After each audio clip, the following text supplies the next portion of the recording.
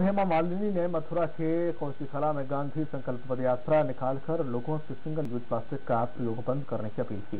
सांसद ने कहा कि महात्मा गांधी के सपनों को साकार कर स्वच्छ भारत बनाया जाएगा। सांसद हेमा मालिनी ने गांधी पार्क में गांधी जी की प्रतिमा पर पुष्प कर पदयात्रा की शुरुआत की, जो नगर के प्रमुख मार्गों से गुजरती हुई बलदेवगंज चौराहे पर समाप्त हुई। पदयात्रा में भाजपा कार्यकर्ता, पोस्टर, बैनर लेकर चल रहे थे। इस मौके पर हेमा मालिनी ने कहा है कि महात्मा गांधी से प्रेरित होकर प्रधानमंत्री नरेंद्र मोदी ने स्वच्छता अभियान को आगे बढ़ाते हुए जल संरक्षण और सिंगल यूज़ प्लास्टिक से मुक्ति का अभियान चलाया है। उन्होंने कहा है कि प्लास्टिक का हमारे स्वास्थ्य पर और वातावरण पर हानिकारक प्रभाव पड़ रहा है।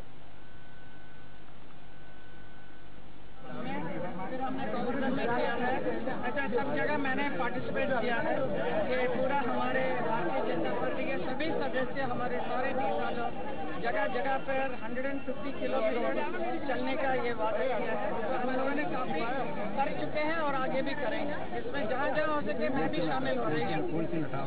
तो ये संदेश यही है कि पॉलिथीन बैग जो है, प्लास्टिक यूज़ न करें और पर्यावरण को अच्छा सुंदर स्वस्थ मथुरा के हाईवे इलाके के गोवर्धन चौराहे पर एनएसयूआई के छात्र नेता मुकेश धनगर को प्रियंका गांधी ने अपनी दो सदस्य वाली कमेटी में प्रदेश सचिव नियुक्त किया है, जिसमें सबसे कम उम्र के प्रदेश सचिव बने छात्र नेता मुकेश धनगर का एनएसयूआई के कार्यकर्ताओं ने माला पहनाकर स्वागत किया। पार्टी के साथ एनएसयूआई के जिंदाबाद के नारे भी लगाए। वह मुकेश धनगर ने कहा है कि आज से एनएसयूआई के हर कार्यकर्ता अपने आप को प्रदेश सचिव मानकर चले और हम पूरे प्रदेश के युवाओं को जगाने का काम करेंगे। इस सरकार की जन विरोधी नीतियों के खिलाफ लड़ने के लिए खड़े होकर इस सरकार को उखाड़ने के लिए